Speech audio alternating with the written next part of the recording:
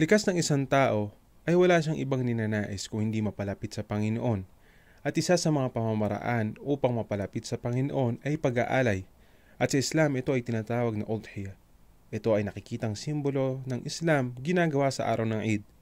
Ang mga kataruan ukol dito ay nasa iilan.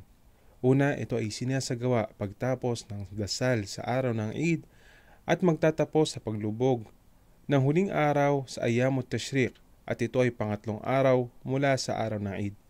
Pangalawa, hindi tatanggapin ng alay, liban na ito ay kamelyo, baka, tupa o kambing. Kaya ang manok o kuneho ay hindi katanggap-tanggap.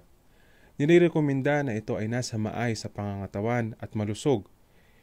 Isa ito sa pagpapaliwanag sa sinabi ng Allah subhanahu wa ta'ala sa Quran at kung sino ang dumadakila sa mga palatandaan at simbolo ng Allah ito ay mula sa tunay na pagkatakot sa puso. Pangatlo, may sinusunod na tamang edad sa mga inaalay na hayop. Ang kamelo ay dapat limang taon, ang baka ay nasa dalawang taong gulang, ang kambing ay nasa isang taong gulang, at tupa naman ay anim na buwan o kalahating taon.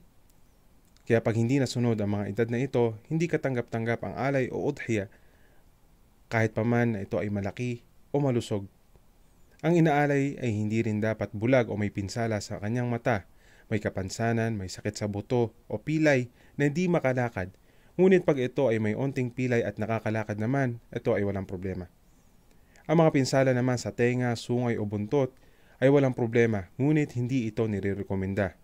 Ang ating mga alay ay ating suriin ng maayos dahil ito ay parte ng ating reliyon at parte ng pagkatakot natin sa Allah.